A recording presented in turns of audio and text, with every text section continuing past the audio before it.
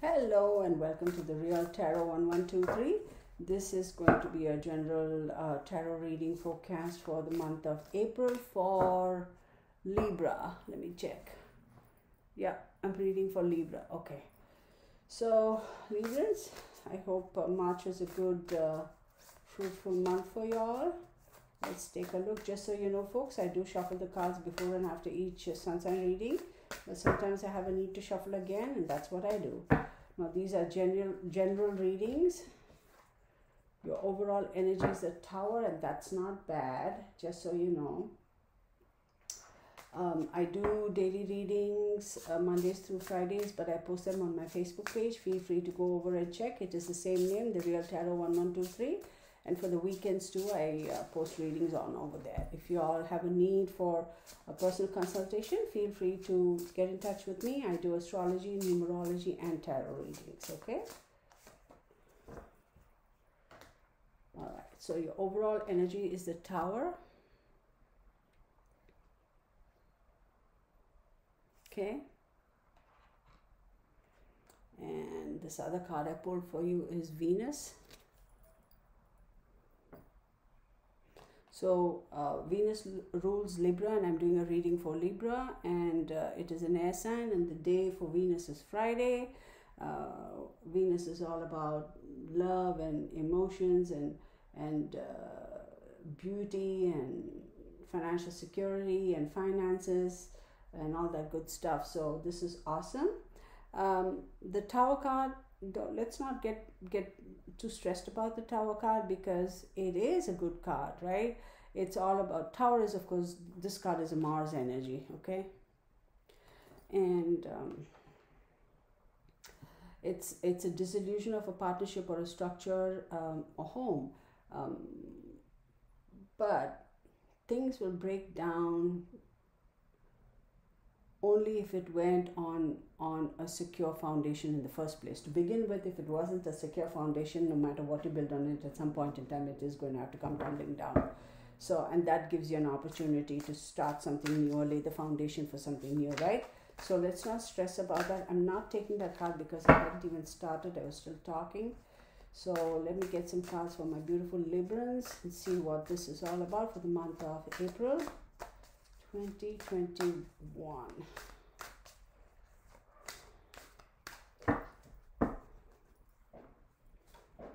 The first card is the Six of Wands, the Lovers. How cool is that? Ten of Coins, Five of Coins, and Two of Coins. So, Six of Wands. It's. Uh, taking action, right? Community relationships, help and support from your community, uh, helping you to take action, right? So you are, it's one, so you are going to have to take action about something, and there are people who are going to support you as far as that is concerned. And then you have the Lover's card. Well, hey, what do you know? You have Venus, and then you have the uh, Lover's card as well. Now, the Lover's card is ruled by, it's a Gemini, Gemini card it's love, friendship, partnerships. Um, it's also duality and uh, uh, it's your spiritual love and your earthly love as well. So it's duality. So we have that, and then we have the Ten of Coins, right? It's uh, the final uh, accomplished card. I have accomplished all the all that I need to in terms of uh, financial security and stability, and now I have the wherewithal and the means to facilitate a happy, comfortable life with this other individual. How beautiful is that? And then you have the Five of Coins, and then you go back to feeling a little bit of um, chaos, and there's a little bit of conflict, um, and you kind of feel like you've been left out in the cold again. Um, so, why? Let's take a look. And then you have the Two of Coins, and the twos are about choices as, as well. So, let's break this down further. Let's get some Let's see what the Six of Wands is all about. We have the Seven of Cups for the Six of Wands. The Fool. Ten of Wands. You have two tens. Ten of Coins and Ten of Pentacles or Ten of Coins and Ten of Wands. That's so cool. you have the Empress. You have some strong cards over here, you guys. Libra.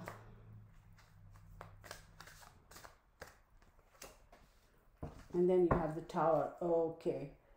So your overall energy was the Tower, and the last card I pulled is also the Tower. Now, so you got the Seven of Cups with the Six of Wands. So, seven again this is emotional right so the cups is emotional so are you kind of reassessing your situation your whatever course of action you took here and you had your people around you support you your support group are you kind of thinking about it? Why are you thinking about it?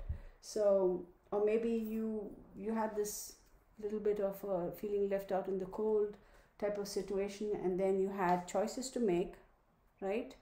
And uh, there were a lot of emotions. You're thinking about those choices right? It's like where is it going to lead you um, or it's also there are way too many choices and you don't know which one to choose. That's an option too. And then you have the fool card under the lovers card. So maybe here's the lovers card and you have the fool card right under that. So are you taking a chance? Uh, this literally to me feels like you are taking a chance or you're willing to take a chance. Um, and then you have the ten of wands under the ten of coins so two tens. So that's that's actually good because you it's like it's like you're finally able to set down your your burdens. Okay? You're carrying some burdens you're carrying some some weight on your shoulders but it's all coming to an end. Okay? So you're not going to feel so much burdened in the near future because you have the empress and the empress is ruled by venus and it's all about luxury and and it's also pregnancy abundance uh, all things beautiful a uh, lot of bountiful blessings and then you have the tower card again so I'm going to cut to the chase and tell you what I feel intuitively as far as this reading is concerned.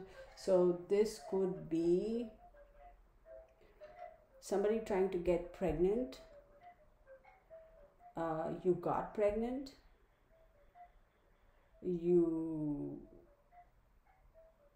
had some medical issues that needed to be clarified because you didn't know whether you want this is going to be a viable pregnancy or not.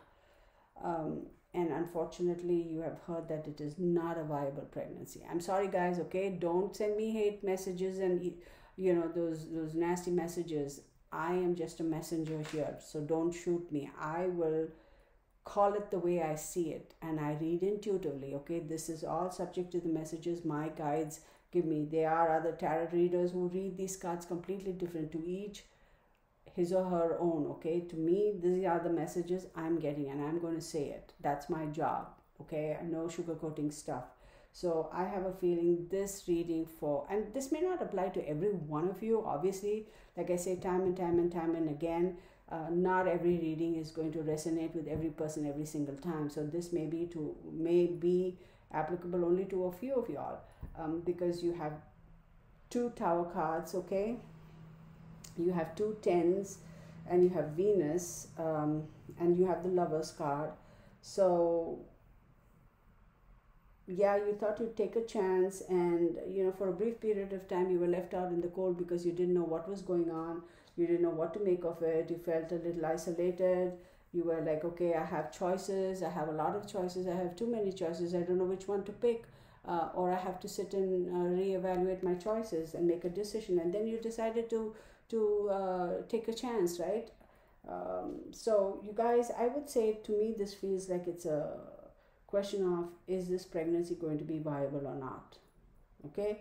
Now, if it is, if this correlates to a business type of a situation for you, then it's a question of is this uh, business partnership going to be viable or not? So, whatever decision you make, give it some thought. And I would say pay attention to um, to where Venus is in your chart. Okay, um, that's what I say.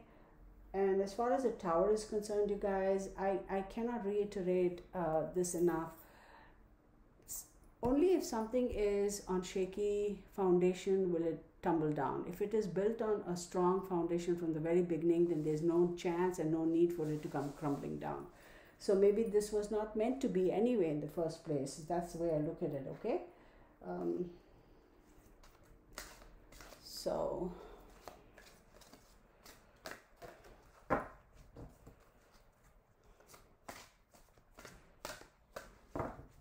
I also, for some reason, got this message. It says bone marrow. It's a really weird one. It's way out there, so I don't know. Bone marrow. Does that make any sense to any of y'all? Is that a bone marrow transplant type of situation? That you thought you had a good match and you found out you don't? I'm going to pull a whole bunch of these and we'll read them together, okay?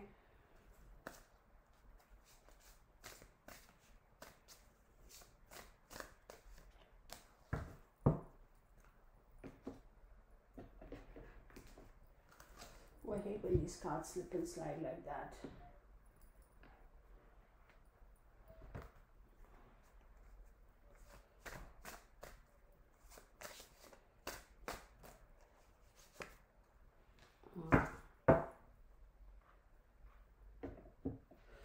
So after the tower card, you got Cordelia, go outside. So whatever this thing that that has broken down, that has disintegrated, please don't shut yourself out uh, and and kind of you know feel feel um, isolated and don't isolate yourself. Okay, because this says you.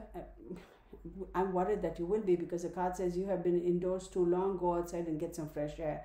So don't isolate yourself, okay? Please don't do that because remember, there are people around you who care for you and who love you, and uh, by you isolating yourself, it could hurt them. So come out in the open, and and the healing process could could uh, uh, hasten up as well for you.